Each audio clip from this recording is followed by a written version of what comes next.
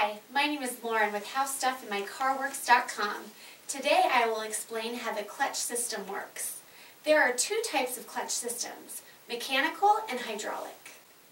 Most of the newer vehicles and light trucks are equipped with hydraulic systems.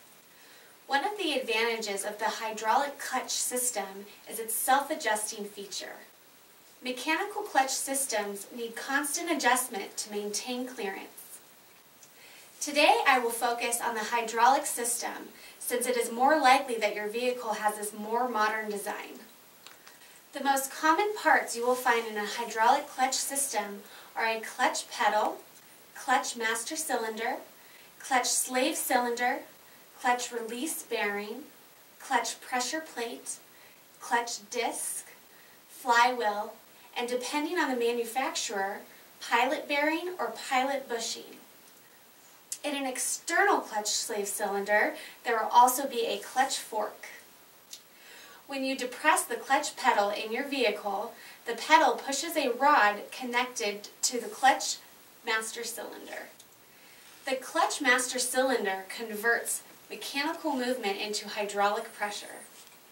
The master cylinder contains the hydraulic fluid, this fluid is pressurized and sent through the clutch slave cylinder through the hydraulic line that connects them together. In an external clutch slave cylinder, the hydraulic pressure pushes on a rod that is connected to the clutch fork. The clutch fork applies pressure to the pressure plate through the clutch release bearing.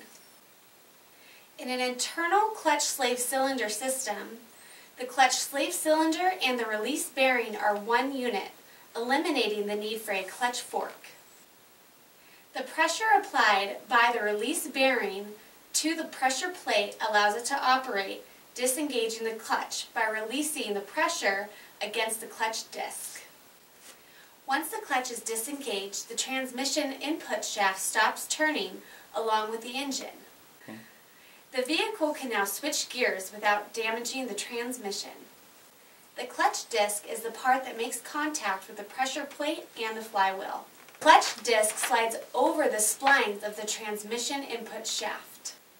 This is how the rotational movement of the engine is transferred from the flywheel to the transmission.